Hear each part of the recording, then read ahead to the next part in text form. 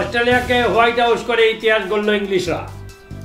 পাঁচ match one day সিরিজের শেষ ম্যাচে অস্ট্রেলিয়াকে এক উইকেটে হারিয়েছে ইংল্যান্ড। আর এই ম্যাচের মাধ্যমে আরেকটি লজ্জার ইতিহাসের জন্ম দিল ওয়ানডের বর্তমান বিশ্ব চ্যাম্পিয়ন অস্ট্রেলিয়া।